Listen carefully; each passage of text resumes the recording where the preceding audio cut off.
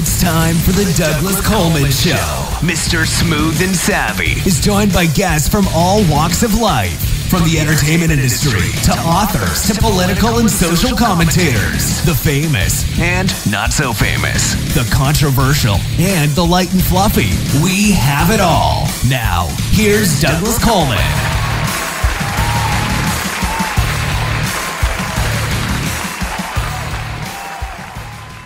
Okay, please welcome to the Douglas Coleman Show, Fidel Beauhill. Hi, Fidel. How are you? Hey, Douglas. I am tickety boo, as we say over here in the UK. Tickety boo. All right. Where in the UK are you? Are you in London or near London? Uh, nope, I'm in Bristol. Bristol. It's very, very close to Wales. Yeah, in the southwest of England. Oh, okay.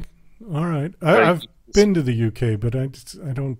My geography of it is not that great. I guess for you guys, this would be a stone's throw from London, but um, in England, it's quite a long way 124 miles to be precise.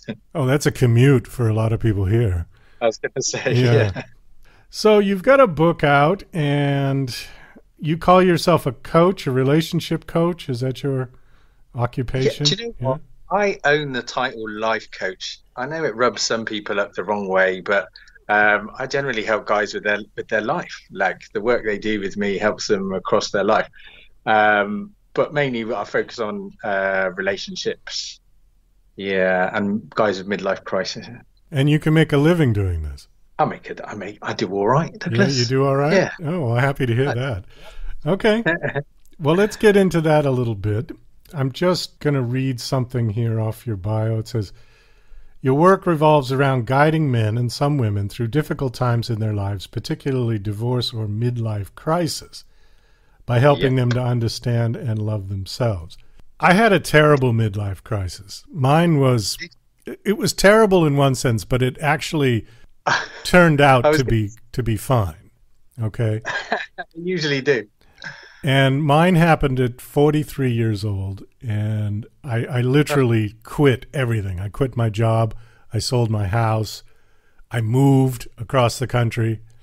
Uh, I got married for the first time, and and it just like just changed everything. I just said we're we're starting completely over, and uh, it was the best thing I ever did. I don't even think there is such a thing as a midlife crisis. I think it's actually it's mislabeled. I think it's a midlife awakening. Oh, I like that better. Oh, yes, an awakening. People just wake up and just go, "Geez, how the hell did I get here? What am I doing? Why am I got all this stuff? What am I doing in this job? Why am I living in this house? Why am I living in this place? What am I doing married to them? Why aren't I married to them?" Um, and and decide to make some changes. So, how do you help somebody get through all of that? How do you help navigate them through that? focus. So I have a little process that goes through values, vision, goals. I think lots of people, midlife crises and, and kind of like divorces, they're kind of like pivotal moments in people's lives where they question everything. Um, and so the world can just seem a bit confusing and they can be a bit directionless. Um, unfortunately, what that can often lead to is you know, searching for the last time when they knew who they were, which is in their youth, and can lead to sort of drugs and alcohol and going out clubbing and uh, Right. playing all sorts of fun, which is where the, the, the idea of the red sports car comes from and so forth.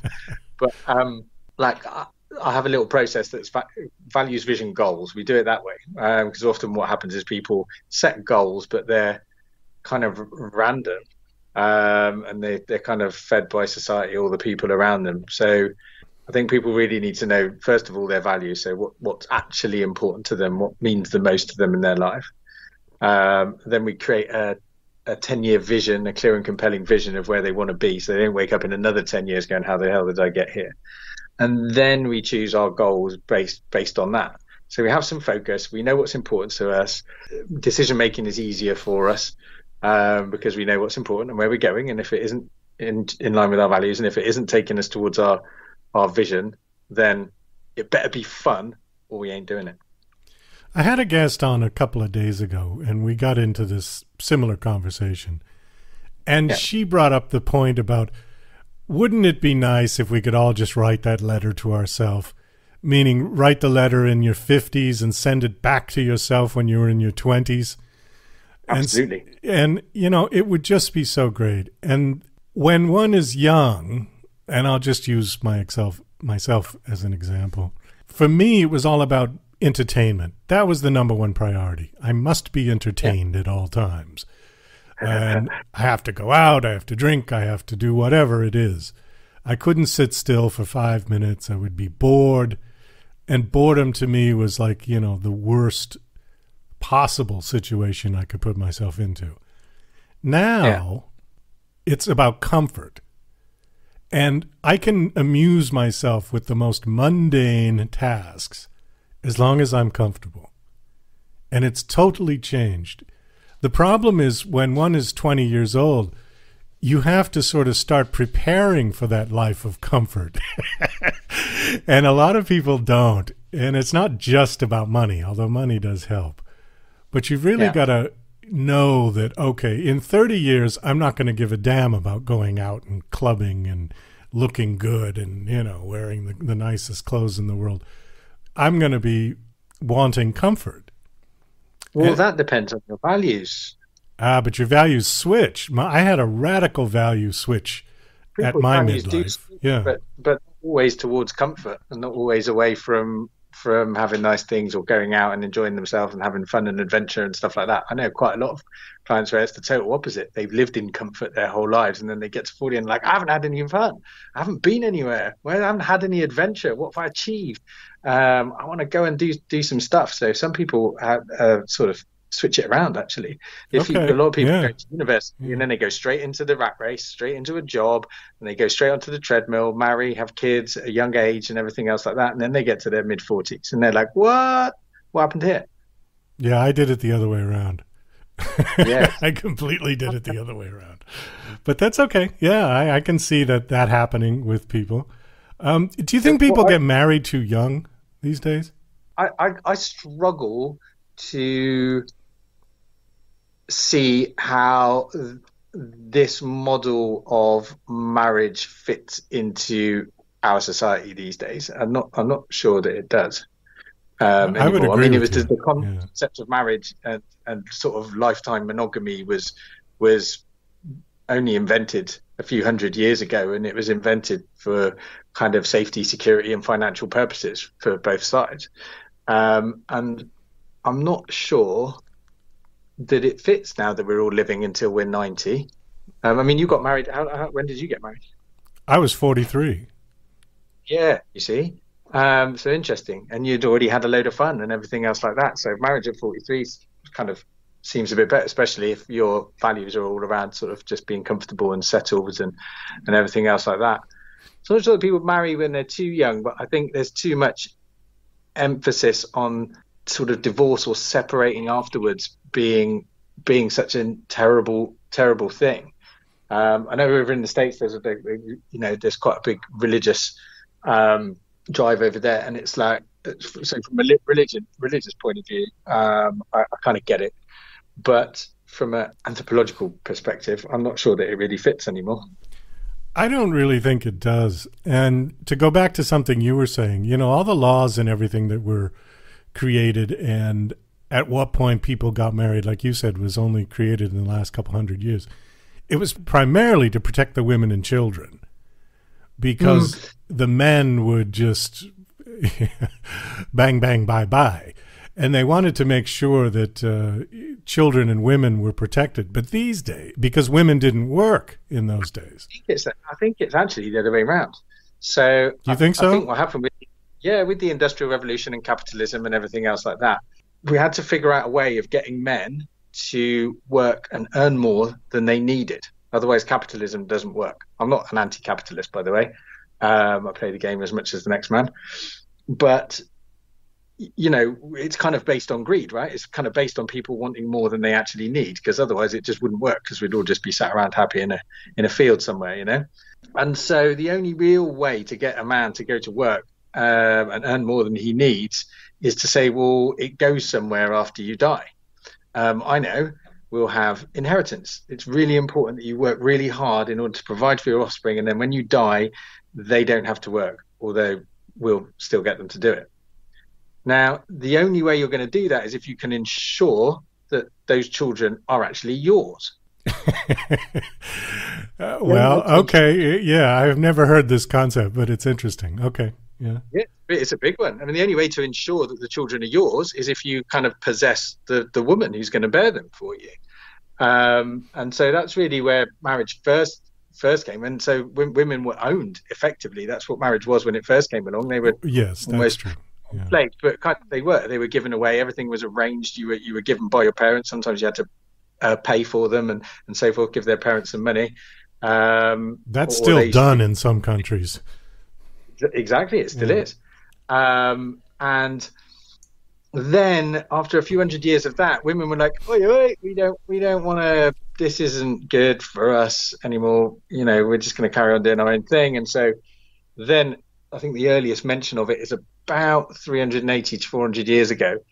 This the concept of romance was introduced, and so we like got women to choose and think that getting married was a romantic thing for them to do and it was really important for them to. So we managed to get them to buy into the whole concept of kind of being owned themselves and and and having a lifetime of, of monogamy and no cheating and everything else like that not look, not looking at anybody else. So so we'd all still go and then they then we got them working as well. So now everybody's working.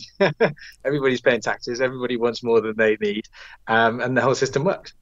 Again i'm not knocking it but it is what it is but this is this goes back to the point, and we can fast forward to probably the late 1960s, early 1970s, when mm-hmm. women really did start to work as well as men. Yeah.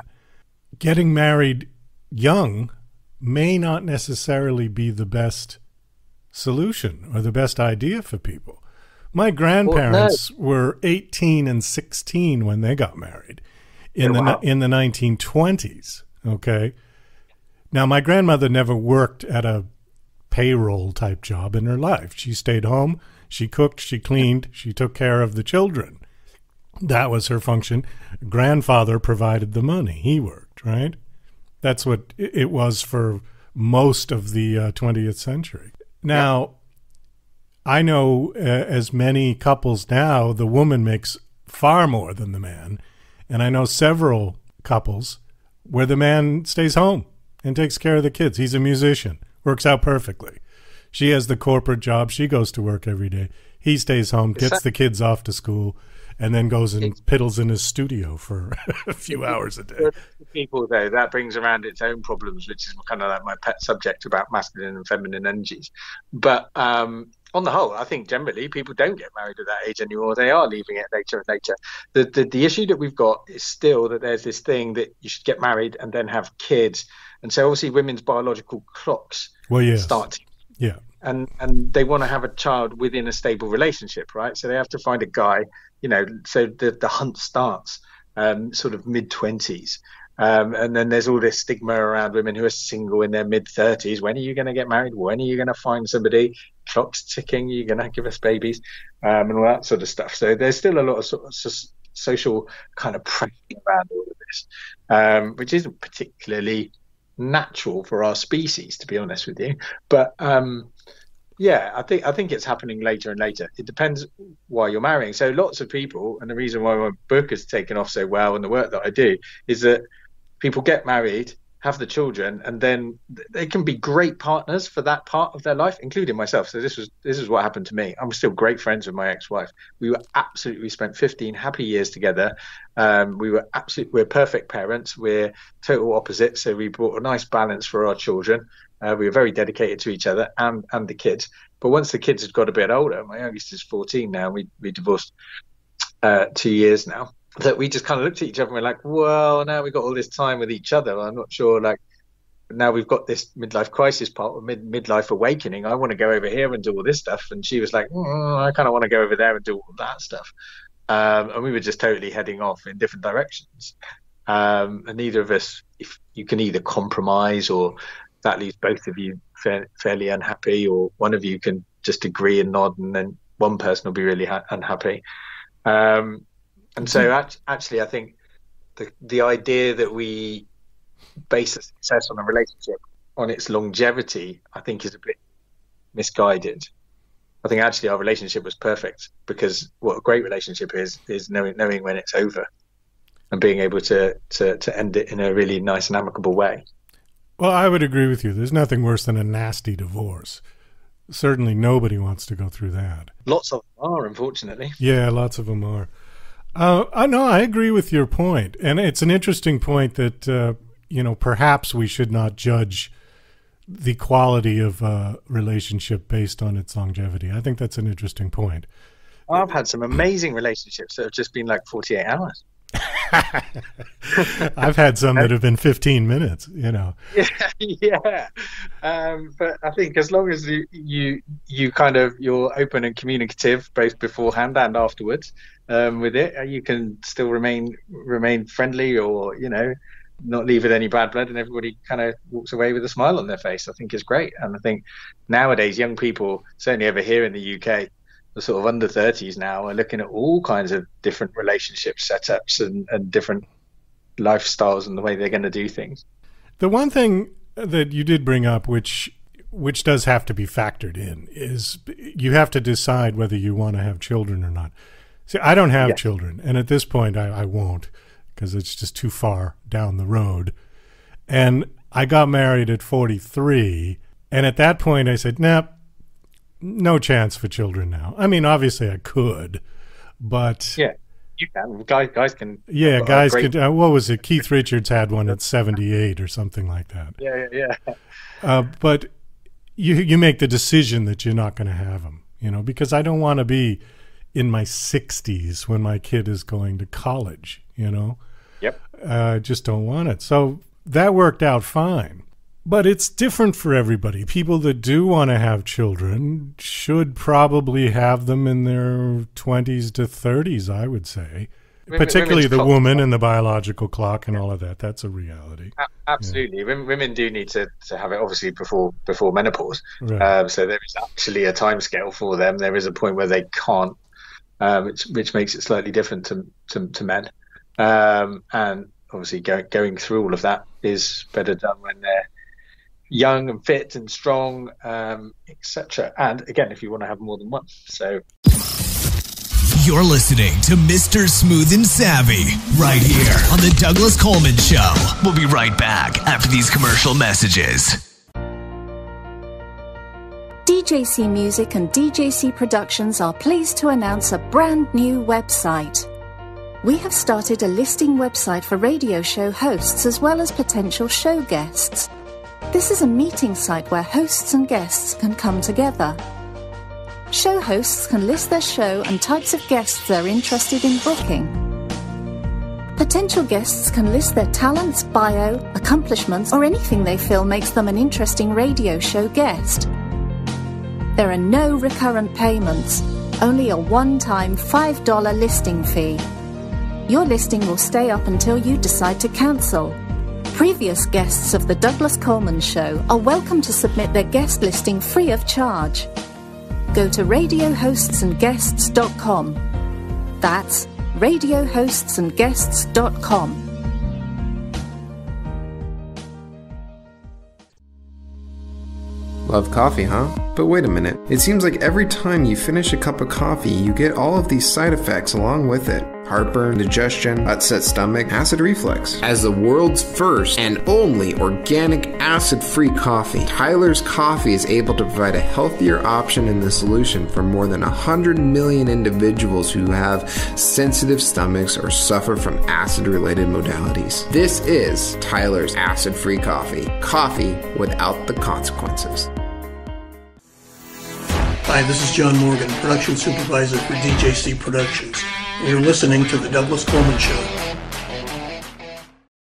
I, I want to hit on one of your questions. It says, Why is it so important to embrace both masculine and feminine energies? We kind of have this attachment to the masculine and feminine. We have this attachment to the roles. So, who goes to work, who stays at home. Um, and it doesn't have to be that way. It sounds like you've got a couple of friends there that, that may that may not do that. So if you've got if you're a rock rock musician or, or whatever, um, I'm sure he's still the man. Like I'm sure he's very, um, very in his masculine energy, but he he performs all the what are traditionally feminine tasks. Um, now, I don't think those two things are linked particularly, but I think that's the way we see it, and that's the bit that causes confusion, um, and can also cause problems when you're saying that, the, yeah, when women earn a lot more than their partners. I think a lot of men feel very emasculated by that. You know, I'm certainly for women's rights. I think women should be allowed to do anything they want to do, work in any capacity they want to work. Yeah. Um, however, with this sort of climate of toxic masculinity that has been perpetrated and toxic femininity, I'm going to use both sides. Yep. It, it makes people resentful or resistant, might be a better word, to taking on traditional roles. I have seen people get blasted on social media for simply saying, for women, for simply saying that they want to stay home and take care of their children. I think those people that do the blasting, I believe they're very, very, very much in the minority.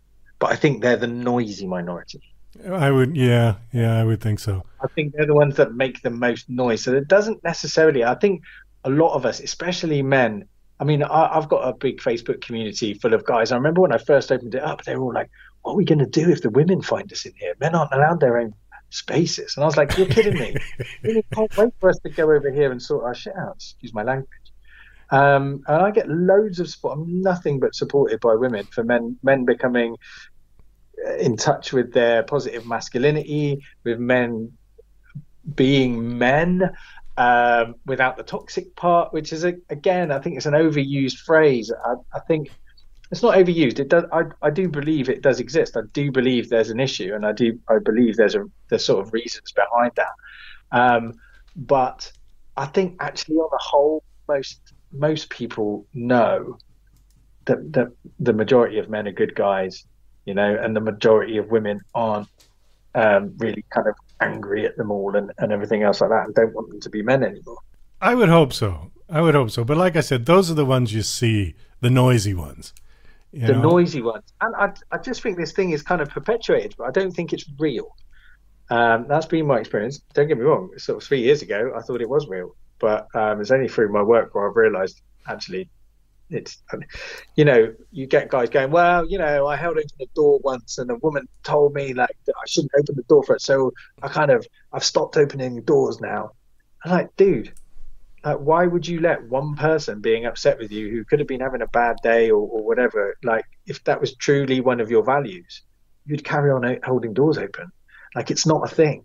Like if 99 out of 100 women uh, really appreciate you holding a door open but you stop because one woman had a go at you and you don't even know why or what her reasons were behind it or she said something to you then that's not very masculine for a start and yeah. I think that those stories are the ones that get perpetuated, and it makes us feel like there's this big drive that's kind of anti masculinity and anti men. And I'm not sure that it's actually really there, but we perpetuate it ourselves.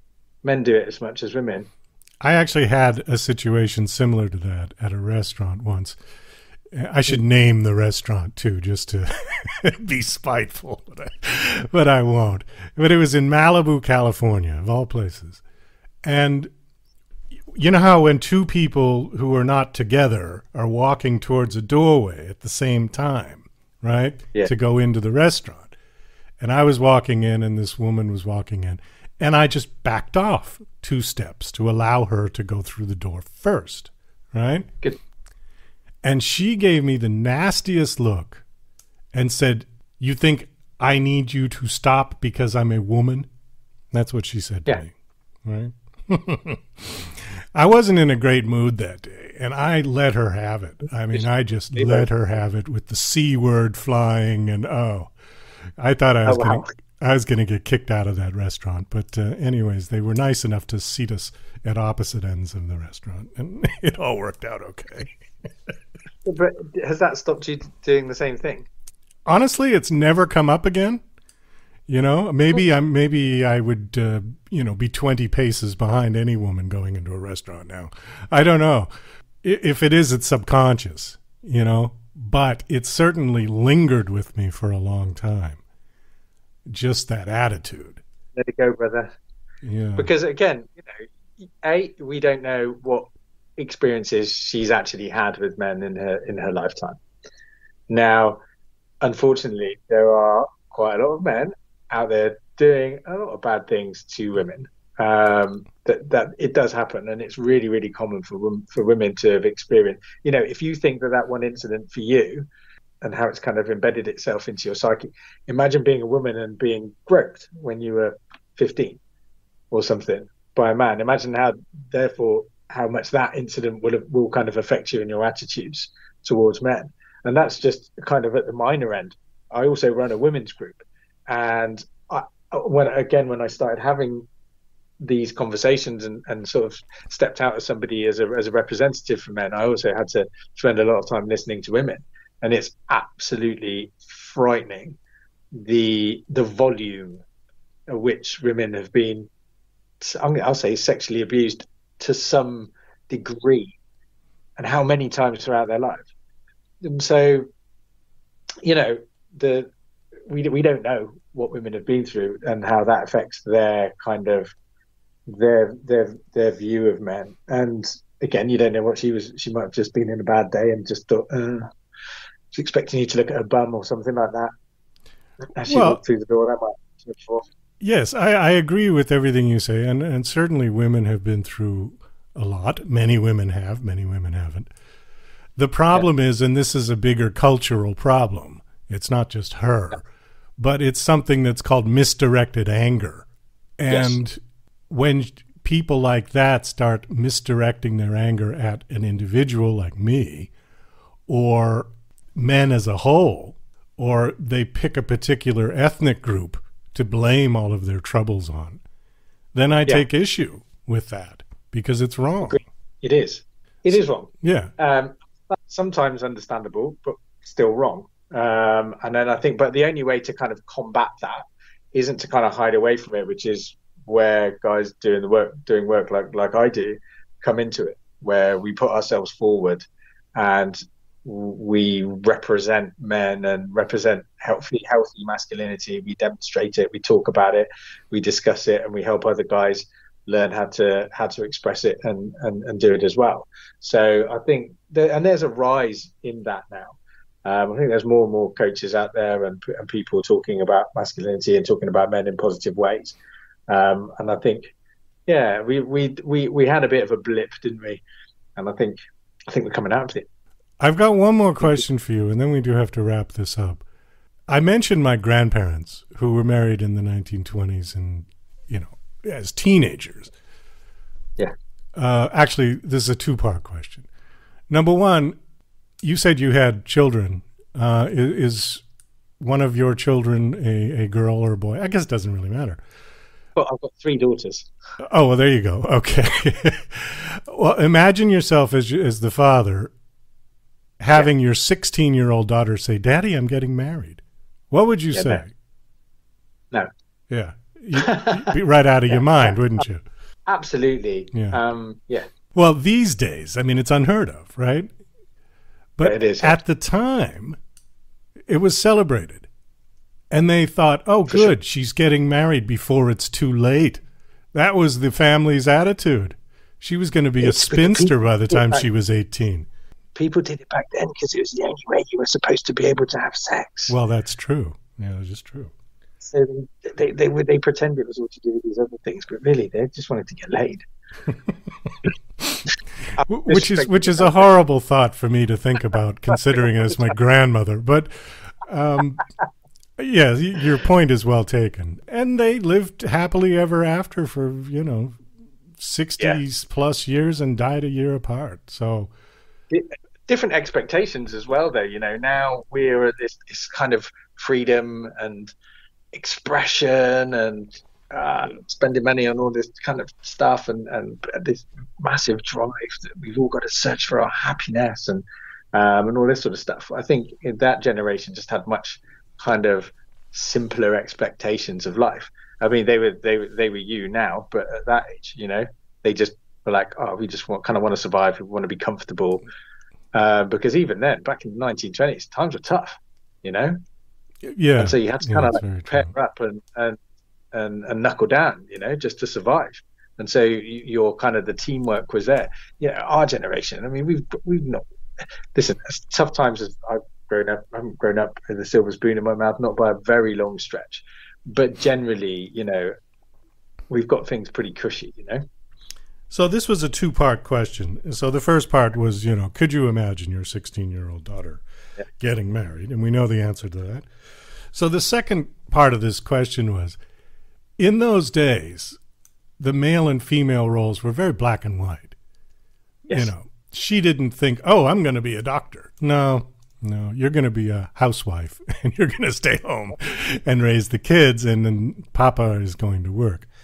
Do you think that was easier because now there's so many choices for men and women that yes. I think we're all running around a little bit like chickens with our heads cut off.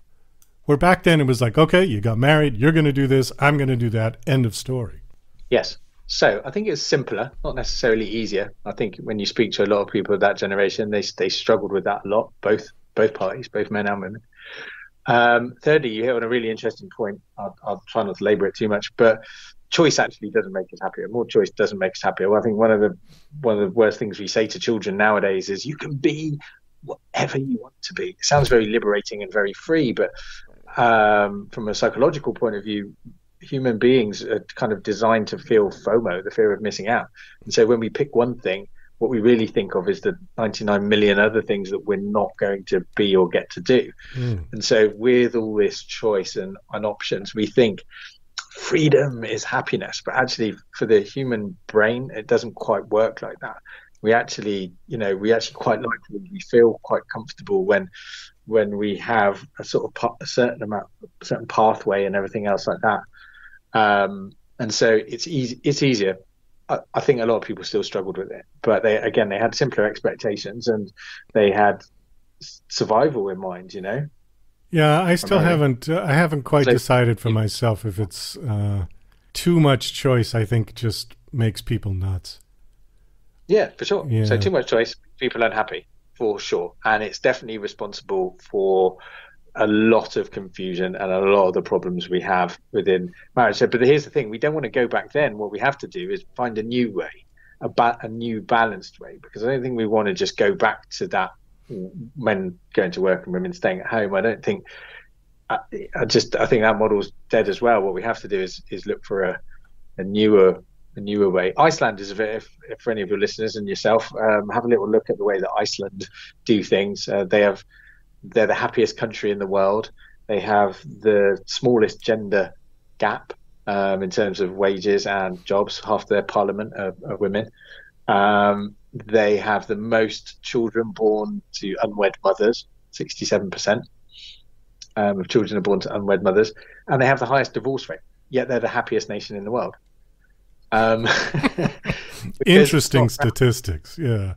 There's some really interesting. I, I, got lost down a rabbit hole learning. I'm, I'm, i was planning to go over there, but obviously the way the world is at the moment, I can't. But I need to go over and investigate myself because I find it fascinating. The final statistic is that even though they have all of this equality, you've got this massive split where women are still like something like 80% of the women are still employed in two industries, which is uh, education and social services and the health service. Mm. So almost traditionally feminine kind of industries. Right. Which is really given they've got all of the choice and everything else like that around them and, and it's all very supportive and they can the, the highest rate of working women in the world and yet they still naturally veer towards those kind of job roles. Interesting. I guess the other statistics that I'd like to see from Iceland is their uh, drug and alcohol addiction rates. I think they're pretty low. Are they low? Yeah. Yeah, yeah, yeah. Because I know in other places, I'm comparing them to Scandinavia, I guess. Uh, well, yeah. Because Iceland is a what was the Danish, right? It's still controlled by. Alcohol's really, really expensive. well, maybe that's why. Uh, Fidel, we got to wrap this up. Thank you so much for coming on. My guest is Thank Fidel Beauhill, and your book is called what? Divorce: A Modern Man's Guide. Okay. And uh, give out a website that people can come check you out. My website is modernman.org.uk. Um, I have a Facebook group called the Modern Man Club. um, and another one called the Modern Woman Club. If that's the best way to find me is on on Facebook. Uh, yeah, those are quite fun places to come and hang out. Okay, great. Thanks so much for coming on the show. I know we could have gone on for another three days or so. Best of luck with everything you're doing. Nice meeting you. Cheers.